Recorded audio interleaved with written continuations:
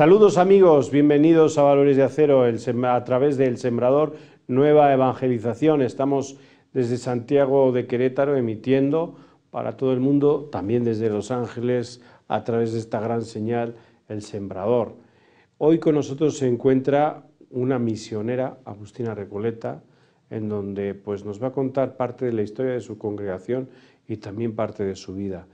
Carmen Arvilla Ezcurra, bienvenida. Muchas gracias, Padre. Gracias por estar aquí con nosotros. Gracias. Y en esta puerta que nos abre el Sembrador Nueva Evangelización, ESNEA, a través de pues, muchos países, 19 países. Carmen, ¿cómo inicia tu vocación? ¿Nos puedes contar? Bueno, yo, sentía, claro, mi, eh, pues en, aquel, en mi tiempo, pues toda la gente del pueblo y de los pueblos, pues eran pues muy practicantes de la religión católica, eh, de, recibir los sacramentos, de ir al catecismo. Eh, yo me acuerdo, pues, como la maestra, mi maestra nos llevaba, pues casi todos los días después de la clase de la tarde de la escuela, íbamos a hacer la visita al Santísimo, a la parroquia, y ella me infundió mucho la, vocación misionera, porque era muy misionera. Y, cómo salíamos pues en el mes de octubre, mes de las misiones, pues por las calles pidiendo limosna con las alcancías de, caras de indígenas, de, africanos, de chinos, de todo, salíamos a, pues a, recolectar, pidiendo limosnas por las calles. Sí. Para las misiones. Para las misiones. En el, día en el Domingo Mundial de las Misiones. y se celebrábamos mucho y bueno, era todo el mes, ¿no? Todo el mes, sí, sí, sí. En la familia es donde surge eh, la vocación, los valores, ¿no? Sí, sí, pues claro, yo le doy gracias a Dios por mis padres, que eran pues muy rectos en todo. ¿Cómo se llamaban los padres de Carmen? Mi padre se llamaba Martín. Martín. Y mi madre Natividad. Ajá. Y bueno, eh, entonces era como mi padre nos decía, bueno, tenemos que ser personas de sí, sí y de no, no, como, decía, ¿no? Y cómo nos educaban pues a hacerla y a trabajar y a estudiar y todo, pues sí. Y claro, pues también tenía familias religiosas, una hermana de mi padre que no la conocí porque murió muy joven, dominica, sí religiosa, primos de, tanto de uno como del otro, habían primos que ya creo que ya no ya han fallecido todas las religiosas primas que habían. A Carmen le tocó una época dura vivir en aquel tiempo, ¿verdad? Pues sí, pues bueno, la posguerra Sí, gracias a Dios, pues en mi pueblo no se pasaba mm, hambre ni así, necesidad así, pero, pero pues sí, nos educaron a trabajar y, y, bueno, pues alimentarnos con lo que había y, si no nos gustaba comer pues de lo que nos había preparado mi madre, pues nos, ah, pues no quieres comer, pues te guardo, te guardo para, para otro momento y como no queríamos comer a otro momento lo mismo, pues nos comíamos y ya, y así. La austeridad educa. La austeridad, sí, sí, sí, sí, ya lo creo que educa, ya lo creo que sí. Y bueno, pues a todo, a la limpieza, al aseo, todo nos educaron muy bien y a trabajar y nos llevaba a aprender de todo, nos decía mi padre. Incluso, pues a veces llorando hasta el campo nos llevaba y como no tenía hijos varones hasta el cuarto que nació varón, pues las mayores, sobre todo las dos mayores, pues eh, nos, llevaba y a veces pues yo lloraba. Y no, aprender de todo, que el día de mañana no sabéis en qué os vais a necesitar, nos decía. Aprender de todo, que os toca vida mejor, pues mejor.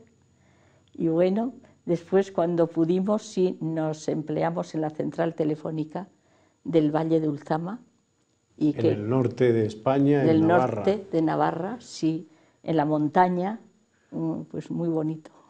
Y una vez que pues estás en la telefónica, ¿qué ocurre? Sí, pues una, estoy en la telefónica, ya llevábamos, pues, mm, este, ya llevábamos algunos años. Yo tenía, pues estaba siempre con mi, con mi cosa, ¿no? Pues ay, me, iré de, me iré de religiosa, pero pues me, me quedaba y pensaba y, y bueno, este, hasta que pues tenía, eh, mi hermana tercera estuvo con las misioneras agustinas recoletas de Apostólica, luego salió, pero entonces iban las agustinas recoletas en aquel tiempo, pues las congregaciones y órdenes andaban en los meses de la de las cosechas, que eran septiembre, octubre, por ahí andaban recogiendo por los pueblos y también las agustinas recoletas, las nuestras, las misioneras. Y, bueno, pues ya, ya tenía ya 23 años y mi hermana, la que me sigue, ya tenía novio. Yo, pues por eso, yo no, la verdad que no me atraía. y bueno, hablando con Sol Isabel, me acuerdo, pues ya, y me, pues ya me animé. Me animé a ir al, noviciado. Ah, y allá en el noviciado, las misioneras agustinas recoletas, pues es una congregación joven, sí. en donde pues hay tres, la, hace un obispo, un obispo que era obispo de China, en Cuitefú, y tres religiosas, que eran tres religiosas de clausura. Sí. ¿Nos puedes contar esa historia, Carmen? Sí, pues eh, las tres religiosas, ahí por el año 1930, eran de clausura, la Madre Esperanza en el convento de la Encarnación de Madrid y la Madre Esperanza, eh, perdón, Carmela y Ángeles en el convento de la ahí de Granada, no me acuerdo, no me acuerdo ahora el nombre, bueno, eran muy jóvenes, las dos de Granada, muy jóvenes. Del Corpus Christi puede ser. Puede ser. Corpus, tenían mucha, eh, pues eh, había mucho espíritu misionero en ese convento de Andalucía, sobre todo, ¿no? Y claro, pues Monseñor eh, quería llevar misioneras al, a China para cuidar a las niñas que andaban, pues abandonadas en, las calles. Y claro, los padres agustinos pues no, no, tenían tiempo y también pues veían que, era pues un trabajo más de, mujeres, ¿verdad? Y entonces pues acudió a unas congregaciones de vida activa, pero no le respondían. Entonces acudió pues a las de clausura, a las nuestras, a las agustinas recoletas de clausura.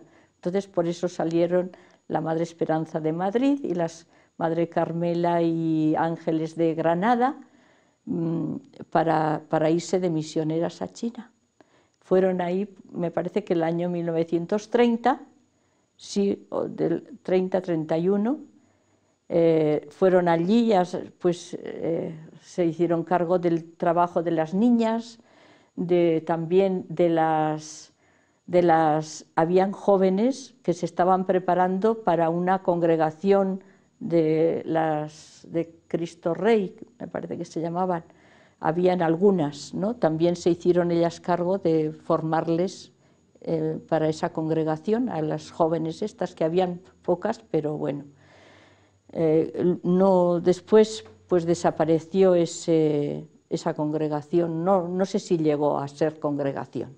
Bueno, ya, sí, a los, a los pocos años, más o menos diez años, pues este, le llamaron a madre, a madre mm, Carmela, que sus padres le necesitaban en, este, en España pues para algo de herencias, ¿no? algo de herencias. Y, entonces pues pensaron en ir y pensaron como el Señor pues de ir a España a fundar la congregación. Y, bueno, fueron y ya fueron a Monteagudo, pues ahí consiguieron una casa y ya comenzó, eh, pues ya iban chicas, algunas chicas eh, jóvenes, algunas de Monteagudo, por ejemplo, Mari Carmen Calvo, eh, mm, este, María Cruz, que, fue mi maestra, que ahora no me viene el, apellido, se llamaba... María Cruz, no te preocupes. Bueno, sí, este, y, y a partir de ahí y a empezó... partir de ahí empezó de, de, Guipúzcoa también como Madre Esperanza. Nació en Monteagudo, pero luego se fueron con sus padres, los hermanos todos a Guipúzcoa. ¿no? y también mm, fueron religiosas de Guipúzcoa, ¿no? y de por allá pues entraron, ya luego este, empezaron a extenderse a Colombia, se unió también una congregación de Colombia a, nosotras porque ellas no eran muchas y se unieron a nosotras y así fue formándose, fueron también a Brasil y todo. Bueno, y en Brasil está la famosa hermana, Irma, Cleusa, de la cual algún día hablaremos ya con profundidad de su vida y de todo lo que, lo que es, lo que significa en Amazonas y lo que ha significado en la congregación. Ya lo creo que sí ya lo creo que sí. ¿Y en Monteagudo quién más estaban por ahí? En Monteagudo pues había un grupo de religiosas pues muy grande entonces en, aquel, en aquella época. Pues, eh, Tú cuando entraste a Monteagudo conociste a las fundadoras. Sí, a la madre, al, al poco tiempo la madre Esperanza pues regresó de Colombia, no sé si estuvo en Colombia y en Venezuela, ya muy mal, ¿no? Y me acuerdo pues con mucho dolor, con cáncer, con muchos dolores fuertes. Madre Esperanza está eh, abierto su proceso de, sí, beatificación. de beatificación y es considerada por Roma venerable. Venerable, así es. Sí, hace dos años que fue reconocida. ¿Cómo ha vivido la congregación y cómo vives tú conociendo a una persona que está en proceso de, canonización? Pues mira, a mí me gusta mucho cuando la, este aspecto de la Madre Esperanza cuando dice, mirándole al Cristo crucificado, mi único amor, ¿no? Mi único amor. Es que me encanta esa frase. Entonces era mujer pues de, mucha oración y de, y de trabajo, de misión, de evangelización. La misión y la oración ella llevaba muy dentro, muy dentro por lo que cuentan también y por sus escritos y por todo.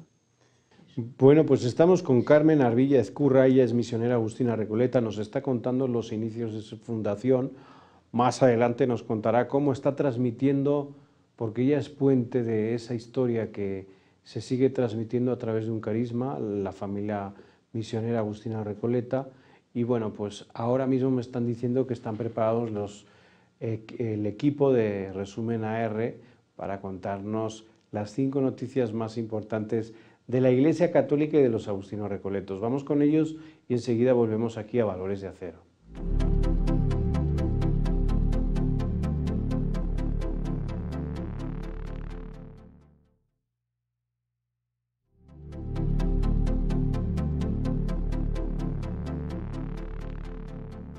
Gracias al equipo de Resumen AR por esas cinco noticias más importantes de la Iglesia Católica y de los Agustinos Recoletos. Estamos aquí en Valores de Acero, está con nosotros Carmen Arvilla Ezcurra, misionera Agustina Recoleta, misionera que ha estado principalmente en Ecuador y en México. Ecuador, ¿qué recuerdos te trae Ecuador?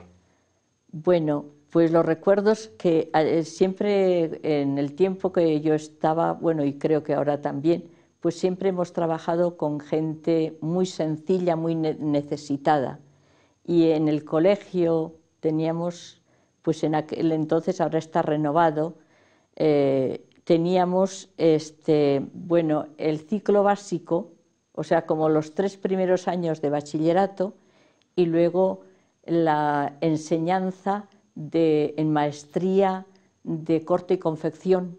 O sea que las chicas que eran pobres de las periferias de, de Quito ¿no? y y también en la mitad del mundo estuve en San Antonio de Pichincha, que era igual lo mismo, pues eran chicas de muy escasos recursos. Y entonces pues salían mm, con el título de maestras en corte y confección. Y pues era una grande alegría pues que salían con su título y que podían trabajar y ayudar a sus familias que eran de muy escasos recursos. También trabajé, tuvimos en el tiempo que yo estuve un, pues nos regalaron una casa y pusimos pues un, como un kinder, ¿no? Ya para que luego también pasaran al, colegio y todo. Entonces, pues también estuvimos, eh, comían los niños también en casa y bueno, teníamos maestras de, para los pequeñitos y comían, pues eh, yo era la encargada de, de comprar lo que hacía falta y todo eso, ¿no? Y, bueno, pues también de, que salían los niños pues, pues bien, bien pues de, comer y alimentados, ¿verdad? Y ahora estás en México y, en Lomas de Casablanca. En Lomas de Casablanca, en, la parroquia El Divino Redentor. Y estás también atendiendo un comedor. Y estamos atendiendo también un comedor. La encargada, encargada es la hermana Karen Alvarado, que no ha podido venir porque está estudiando por la tarde.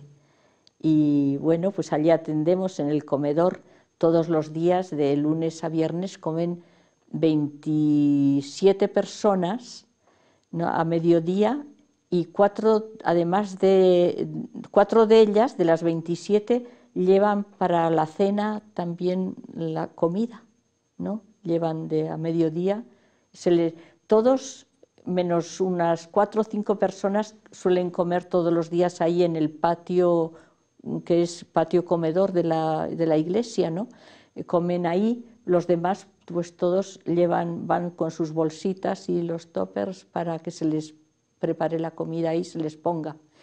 Y luego tenemos una señora, doña Tere, bueno, y señoras que, que se ofrecen a ayudar a preparar la comida. Doña Tere es la que dirige el menú de cada día y pues todo esto pues nació de, de gracias a los padres agustinos de la parroquia, al padre Honorio, que le mandan dinero de su pueblo y a través de los padres agustinos, recoletos, eh, de partidos de fútbol que hacen en Navaleno, Soria, me parece que es, allí, y, le mandan pues todos los años dinero.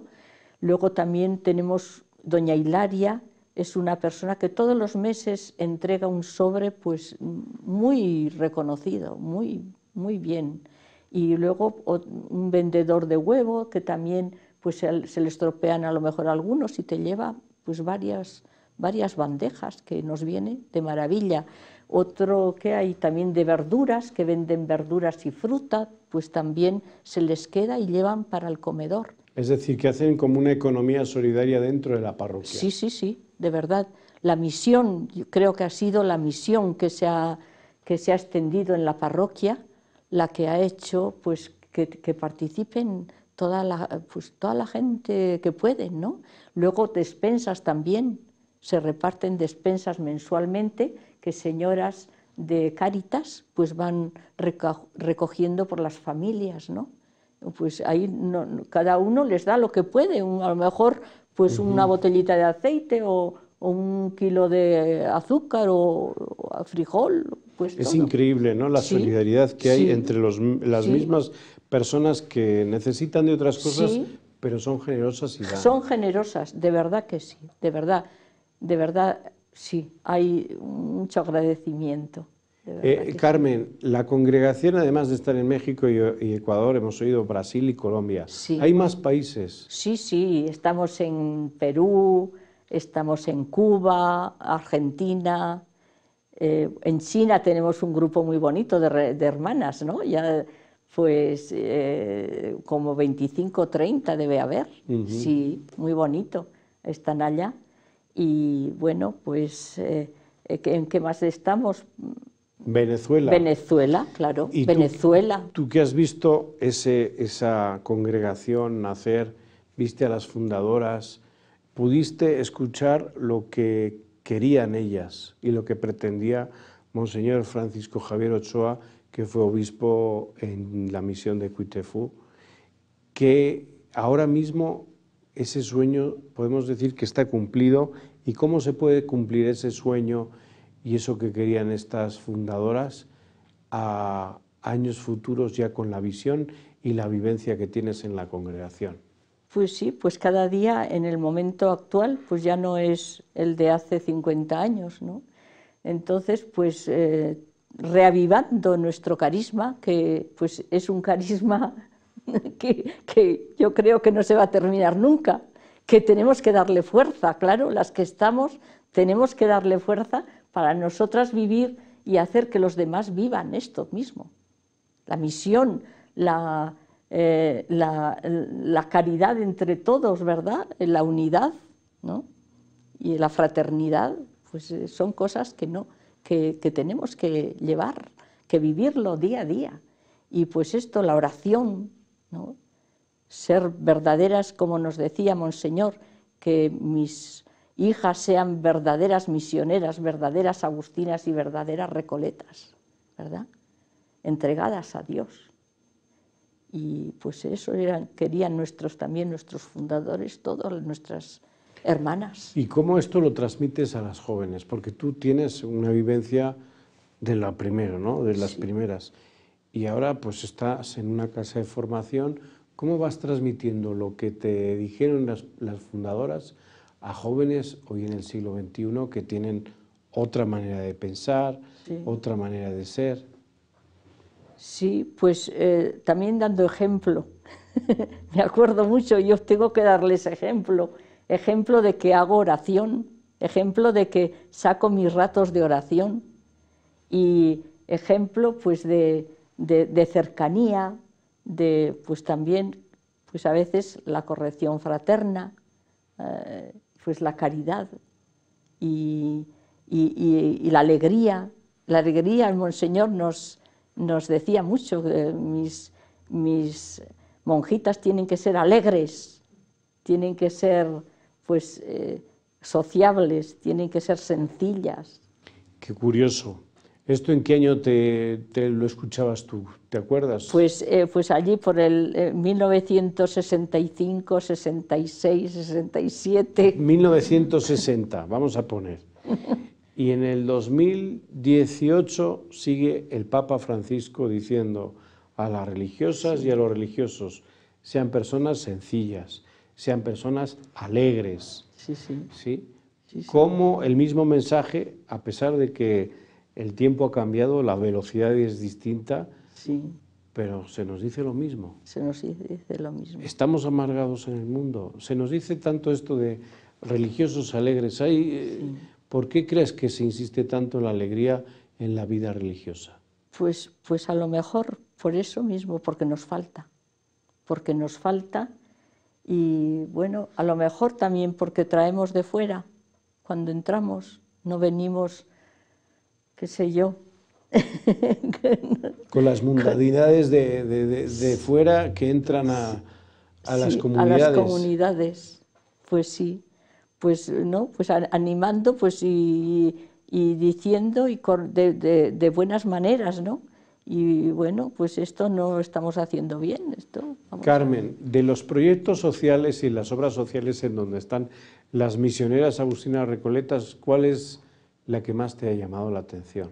Pues mira, mm, bueno, siempre me ha llamado la atención de que estamos con gente humilde, con gente sencilla, porque pues Jesús a eso se le ve más con la gente sencilla y iba a la gente sencilla a, pues a predicar y a, todo, se, se hacía cercano. Entonces, por eso yo también y, la congregación, pues gracias a Dios, creo que estamos pues trabajando, que nos falta todavía mucho, pero creo que estamos trabajando así con la gente sencilla, como Jesús lo hacía. ¿Y qué aprende uno de los sencillos? Pues, pues a, a ser cercano, a ser, pues a callar a veces cuando hay que callar hablar cuando hay que hablar. Esto de hablar a tiempo y a destiempo no, sino más bien hablar cuando hay que hablar, ¿no? Hay que hablar. ¿Cómo ve Carmen la congregación desde que entró, los años 60, ahora en el 2018?